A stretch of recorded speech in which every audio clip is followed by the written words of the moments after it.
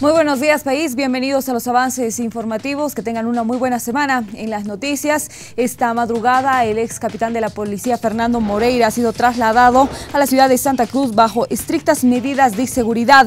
Según el gobernador del penal de San Pedro de la Paz, Freddy Balda, el operativo se llevó adelante cumpliendo con la notificación de la autoridad jurisdiccional de Santa Cruz solamente se trasladó al señor Moreira. Señaló, en las próximas horas Moreira debe asistir a la audiencia de cesación de la detención preventiva que planteó su defensa en el marco del proceso penal que se le sigue por nexos con el sindicado por narcotráfico Pedro Montenegro, quien guarda detención en el penal de Palmasola.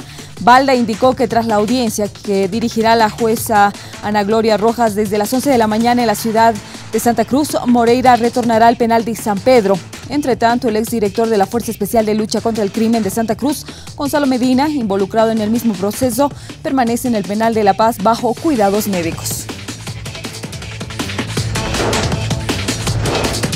Los diputados eh, de oposición Wilson Santa María y Rafael Quispe han anunciado que esta semana van a presentar una denuncia penal en contra de los cinco fiscales del caso Depósitos Millonarios por el presunto delito de prevaricato, después que la Fiscalía rechazó la denuncia contra los dirigentes de la Federación Departamental de Choferes Primero de Mayo por el dinero que recibieron en sus cuentas particulares provenientes de la recaudación en el peaje de la autopista.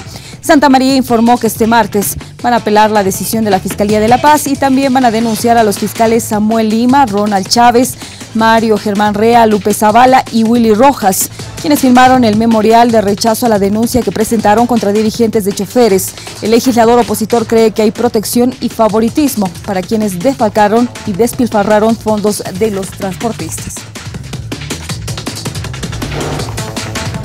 Momento de conocer el panorama internacional. Esta madrugada se han registrado dos sismos en la zona central y norte de Chile.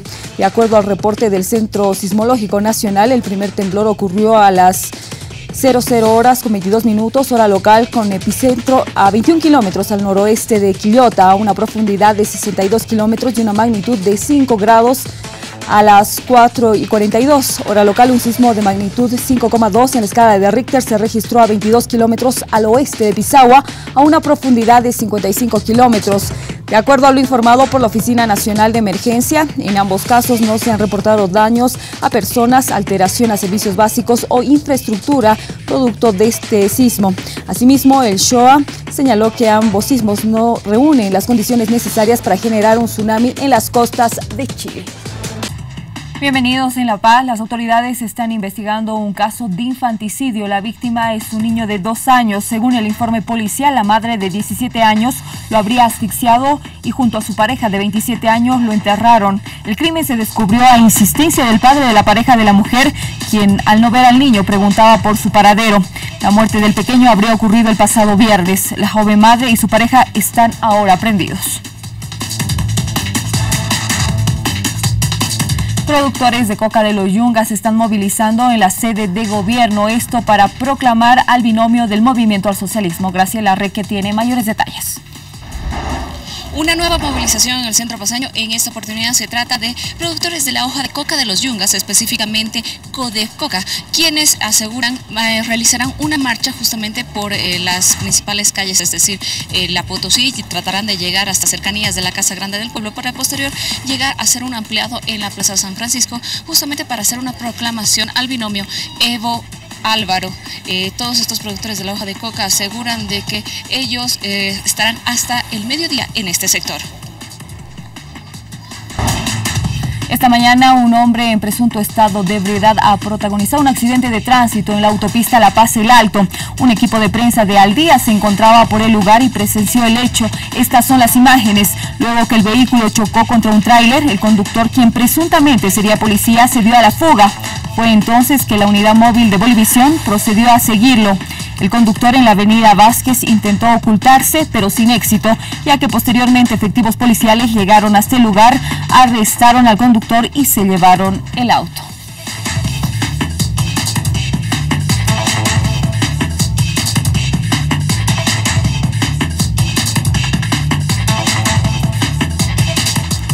Bienvenidos. En la ciudad de Santa Cruz, pasada las 10 de la mañana, se ha dado inicio a la audiencia de cesación a la detención preventiva del ex capitán Fernando Moreira en el juzgado 10 de instrucción en lo penal. La defensa de Moreira está pidiendo medidas sustitutivas para que su cliente pueda defenderse en libertad. Recordar que Moreira es procesado por presuntos vínculos con el acusado por narcotráfico Pedro Montenegro. El ex jefe policial fue trasladado esta mañana desde el penal de San Pedro en La Paz hacia la capital cruceña con un fuerte operativo de seguridad.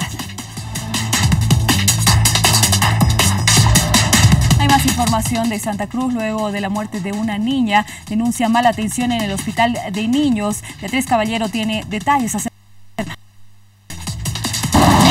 informarle que hasta la casa de la menor que ha denunciado el papá mala atención en el hospital de niños ha llegado la Defensoría de la Niñez para levantar información. Recordemos que la niña ha perdido la vida a las 2 de la madrugada de este lunes, luego de que el papá informó que ella no fue trasladada hasta, eh, hasta terapia intensiva, donde tenía que ser atendida con equipos especiales porque a la bebé le faltaba la respiración. Sin embargo, permaneció varias horas siendo atendida en emergencias, donde finalmente, lamentablemente, ella perdió la vida. Cochabamba, Martín Colque informa sobre el caso de un menor que desapareció en Quillacollo y días después fue hallado en los Yungas de La Paz. Durante las últimas horas han sido trasladados hasta Cochabamba estos dos sujetos acusados de llevar a un menor de edad, incluso hasta fuera del país. Esa era la pista inicial. Fueron encontrados en los Yungas junto con el menor y ahora se han puesto ante autoridad eh, competente. Tomar en cuenta que entre los últimos indicios que se han establecido es que podría haber también abuso sexual al menor. Es algo que la Fiscalía y la Defensoría de Quillacollo están trabajando. Mientras tanto, ahora se encuentran en celdas justamente de la policía de Quillacollo para responder ante la denuncia interpuesta por los padres del menor. Sobre temas de salud, muchas personas están acudiendo a centros de salud, esto para vacunarse contra la influenza. De este y otros temas también informa al momento Yalmar Sánchez.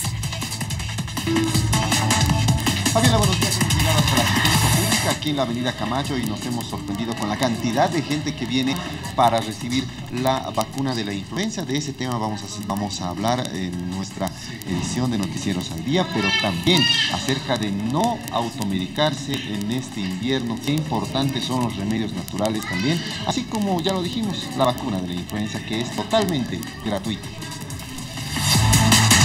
Por supuesto, más detalles de todas estas noticias en la segunda edición del día. Hasta más tarde.